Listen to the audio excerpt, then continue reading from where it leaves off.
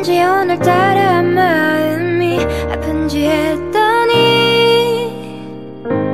오늘은 그대가 날 떠나가는 날이래요.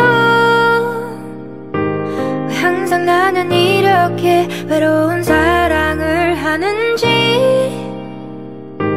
도무지 이해가 안 가는 이상한 날이에요. 왜 그랬는지 묻고 싶죠. 날 사랑하긴 했는지 그랬다면 왜 날 안아줬는지 그렇게 이뻐했는지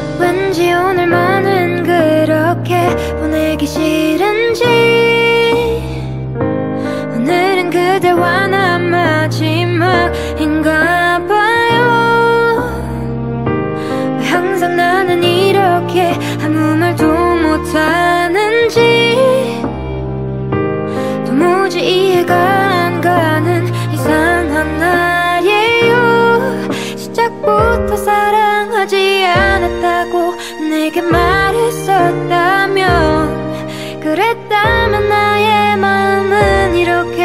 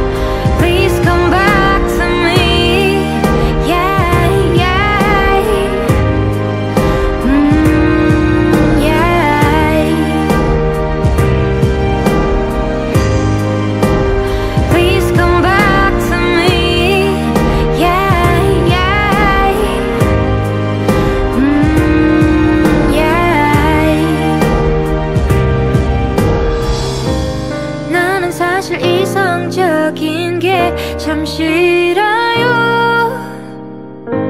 그래서 우린 헤어져야만 했으니까 아무렇지 않게 살아가도 매일 밤이 고통스럽겠죠.